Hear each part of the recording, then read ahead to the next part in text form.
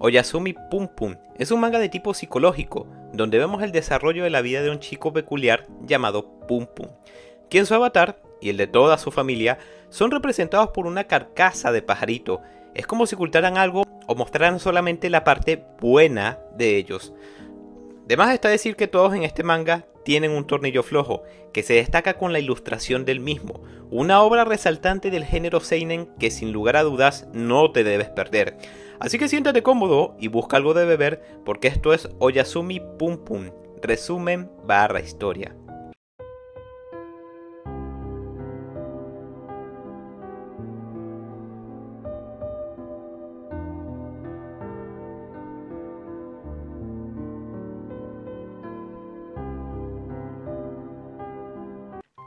Pum Pum se encuentra triste porque la chica más popular se ha cambiado de colegio.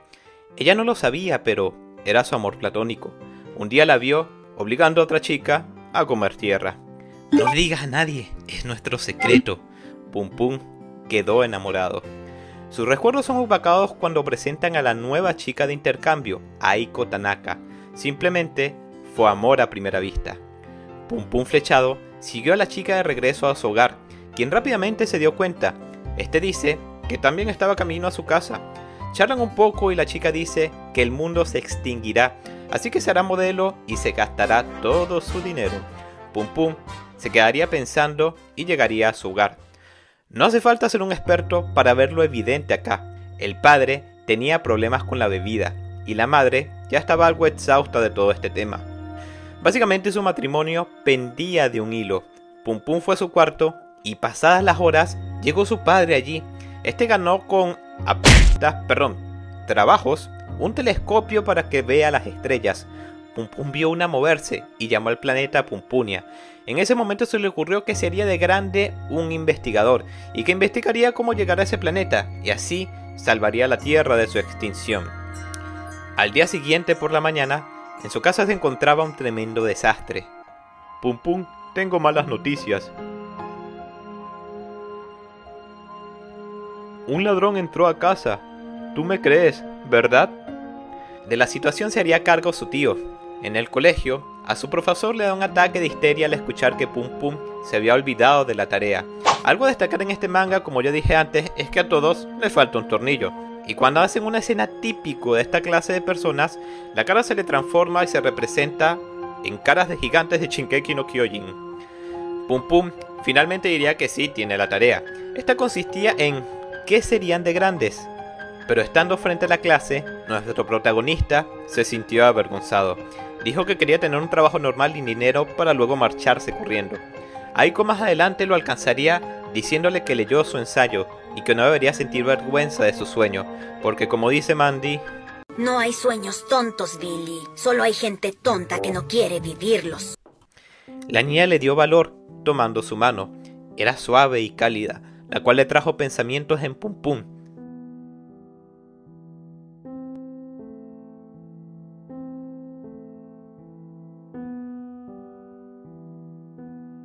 Tal vez él no podía salvar al mundo de la extinción, pero sí que podrá salvarla a ella de ese destino. Porque te quiero.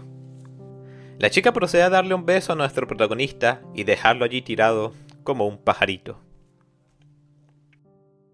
Pum Pum ayuda a su tío a desempacar. Él cuidará a Pum Pum. El tipo en realidad es un buen chico y siempre le está dando consejos y Choco Crispy parece a Pum Pum. Mientras que su madre estaba en el médico recuperándose de la mega perdón, de las caricias que le dio el papá. Como mencioné antes, su tío es un hombre que siempre cuidará de Pum Pum, un sujeto que donde pone el ojo, pone la bala. Nuestro protagonista recuerda que él fue quien le enseñó un canto especial para atraer a Dios en cualquier momento, el cual Pum Pum observa todo el tiempo como un extraño asiático que no suele dar muy buenos consejos y que está muy relajado de la vida.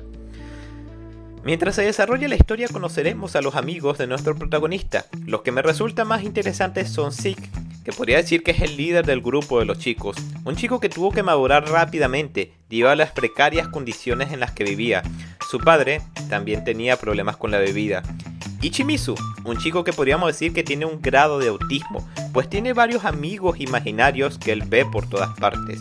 Principalmente uno de ellos es un dios que va en una nave extraterrestre y tiene cabeza de caca. Mmm, está muy raro tu manga. Aprobado. Procedo a hacer el pollito.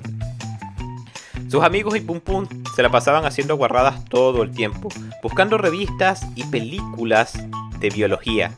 Ya sabes a lo que me refiero. Un día eso el grupo de chicas los ven y los niños niegan lo que estaban haciendo. Aiko le crea Pum Pum, afirmando que él nunca mentiría. Ese día, Pum Pum emocionado llegaría a su casa y entre el recuerdo de los libros de biología y el recuerdo de Aiko tendría su primera pajaringa.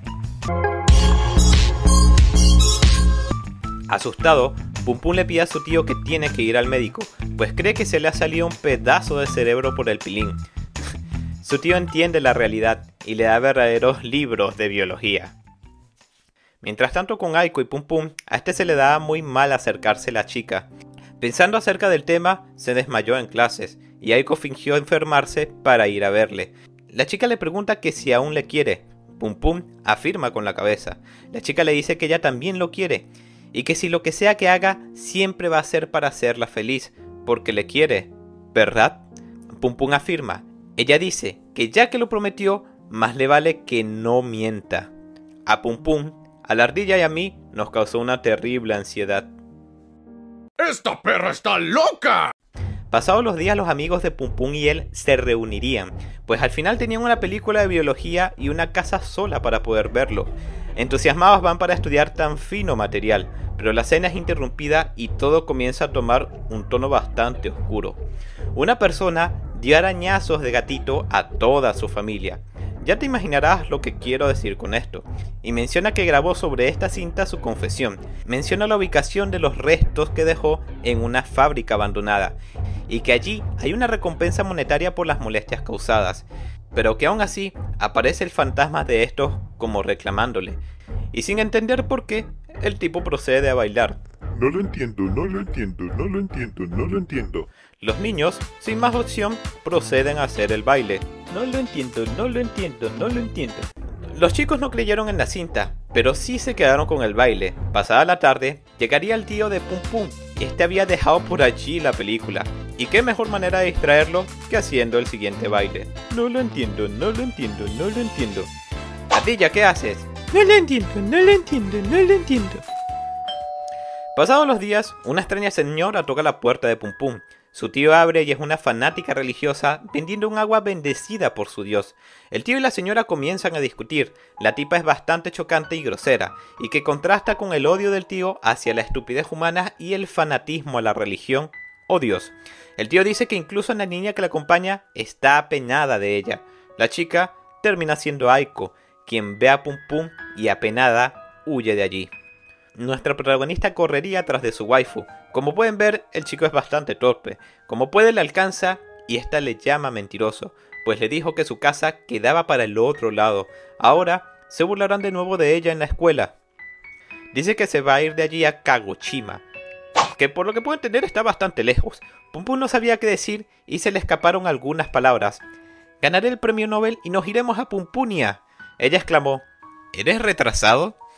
Cuando dijo esto, Pum Pum se dio cuenta que probablemente lo era. Pum Pum tenía el presentimiento de que si no la abrazaba fuerte, ella se iría muy lejos. Él la abrazó con todas sus fuerzas. Aiko le hace prometer que le llevará hasta allá al final de las clases. Pum Pum afirma la promesa. Y Aiko le dice que si esta vez incumple la promesa, esta vez de verdad lo va a eliminar.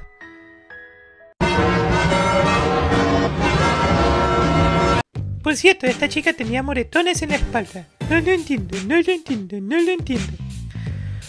Pum necesitaba dinero para el viaje y es cuando recuerda el dinero que prometió el sujeto del video. No solo eso, sino sus amigos también se acordaron.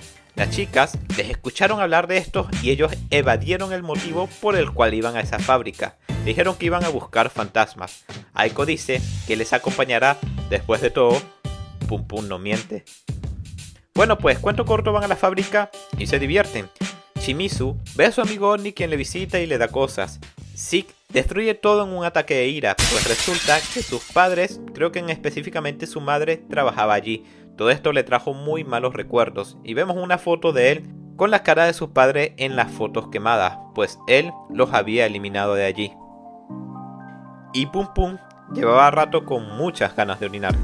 La cosa en la fábrica se pondría confusa cuando ven a un hombre, o quizás un fantasma, que no saben bien en realidad qué fue. El hecho es que todo comienza a incendiarse. Los chicos corren del lugar y atrás se queda Aiko, quien se desmaya por un golpe, y nuestro protagonista, quien ante el miedo recuerda algo que le causa un terror absoluto. Tiene muchas ganas de hacer pipí. Los niños buscan ayuda y Chimizu pide ayuda a su amigo extraterrestre, mientras que Pum Pum se estaba orinando había llegado a su límite.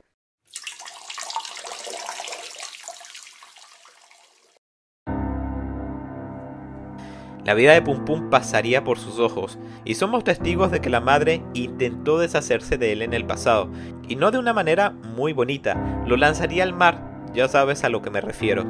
Pero se arrepintió y vemos que los problemas maritales con sus padres llevaban tiempo ya.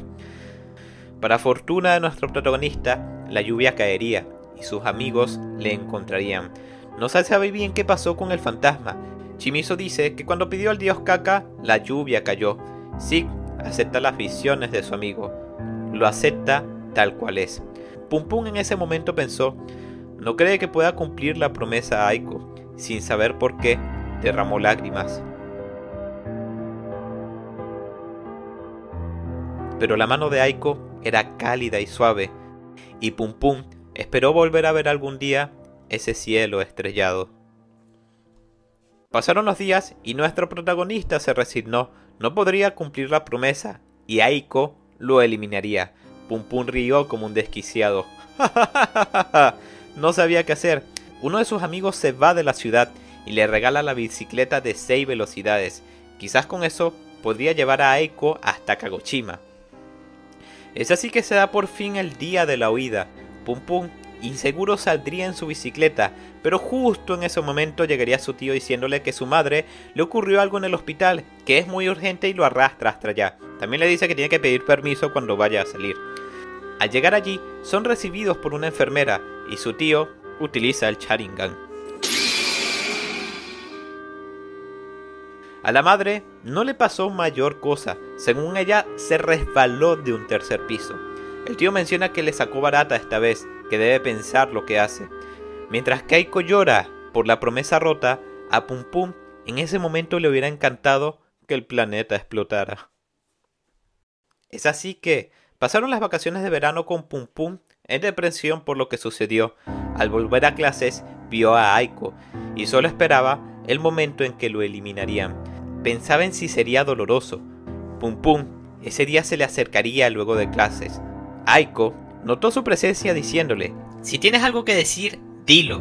Pum Pum lloraba, no mencionó palabra alguna, solo pensaba, lo siento, no quiero morir.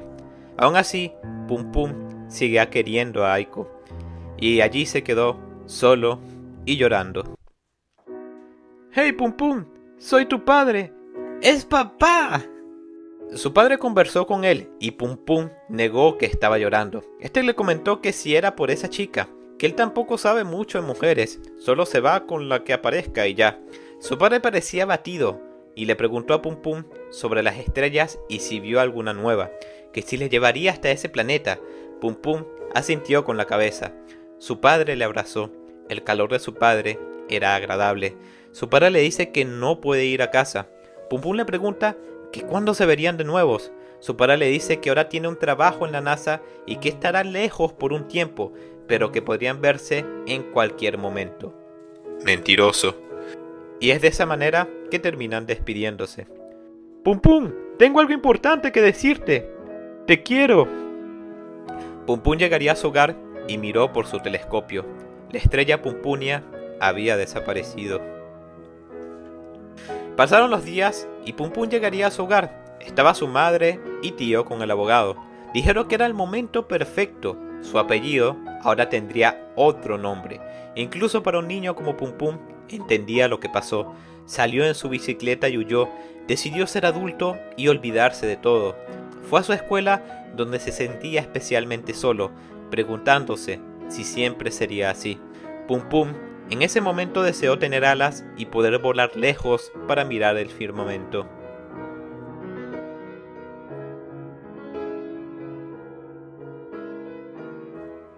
Pum Pum finalmente llegaría a su casa. Su madre le dice que su tío fue por él y que no la vuelva a dejar sola. Pum Pum empezó a derramar lágrimas sin saber por qué. Buenas noches, Pum Pum.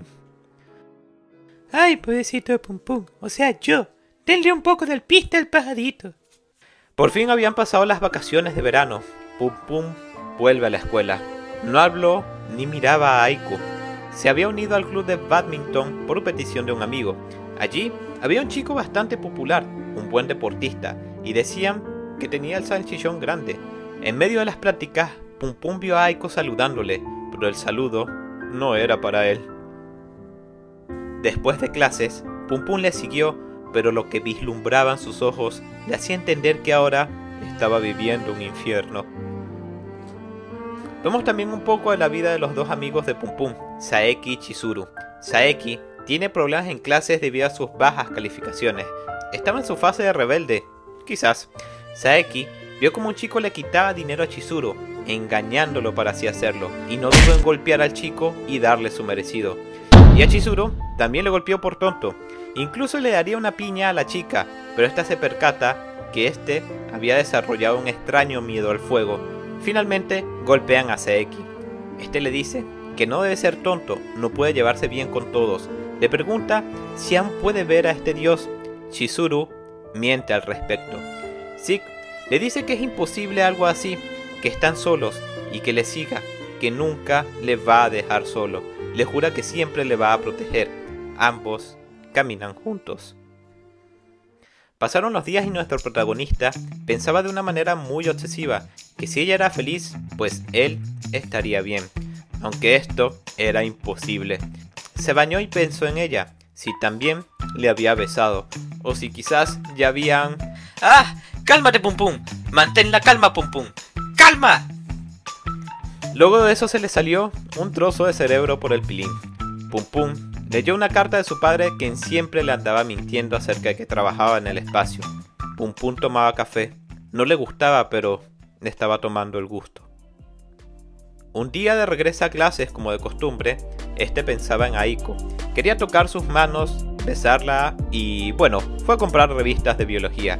Allí le ve su compañero de badminton y el novio actual de Aiko. Le dice que no falta a sus clases. Pum Pum cambia la revista que iba a comprar. Le dice que es muy genial que él sea listo. Él no lo es, por ello apuesta todo a los deportes, para tener una beca universitaria. Si no, él estaría acabado. Le terminaría contando a Pum Pum que tiene una novia, que la quiere mucho realmente, pero le cuesta entenderla ya que es su primera novia.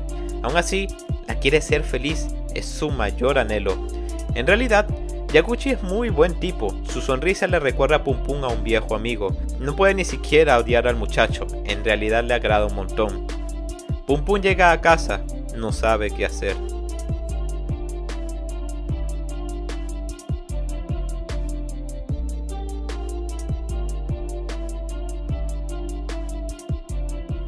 Los días pasaron y los chicos se acompañaron un par de veces más. Pum Pum luego notó a Aiko y a Yaguchi llorando. Aiko está llorando. Aiko viene hacia acá. Pum Pum nuevamente fue ignorado. En la mente de nuestro protagonista no tiene idea de lo que pasaba. Sus celos decían un montón de incoherencias. Y la manifestación de Dios decía que le hiciera algo al chico que le acompañaba. Yaguchi llegó y Pum Pum se apenó de sus pensamientos. Yaguchi le cuenta que habló de él con Aiko y ésta lloró. Sabe que fueron pareja y que quizás ella tenga sentimientos todavía por él. Pero debido a esto y que tiene una lesión en el pie, piensa que no puede dedicarse al deporte y tener una novia al mismo tiempo, que si pierden este torneo le dejará el camino libre a Pum Pum. Pero sin embargo, si gano, Tanaka va a ser mía por el resto de mi vida. El que protegerá, a Aiko soy yo. Soy yo.